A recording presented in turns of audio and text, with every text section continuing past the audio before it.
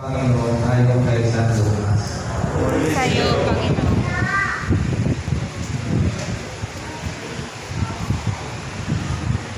Nang panahon iyon, umakyat si Jesus sa isang bundok at magdamag siyang nanalangin sa Diyos.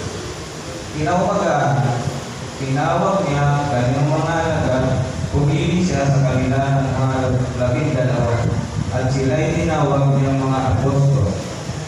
Sila ay sina Simon, na pinangalanan ng Pedro, si Andres ang kapatid nito, sina Santiago, Juan, Felipe, Bartolome, Mateo, Tomas, Santiago ang anak ni Alfeo. Si Simon naman mga kabayan, si Judas na anak ni Santiago, at si Judas Iscariote, anak ng Taksin.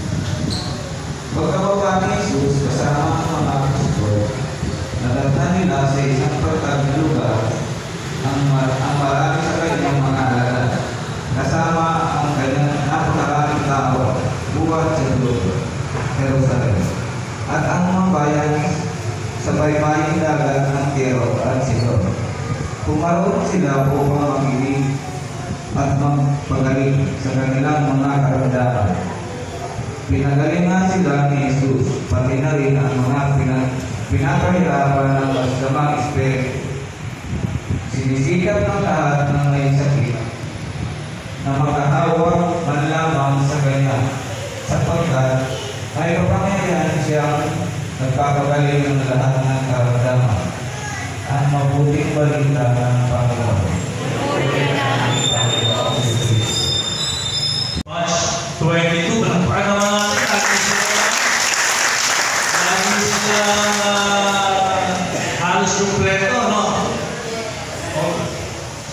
hindi nga halos kompleto.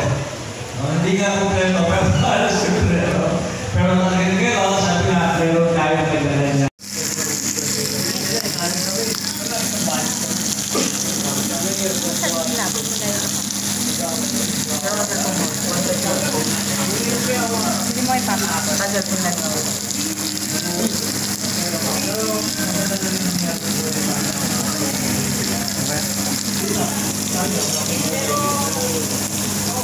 Thank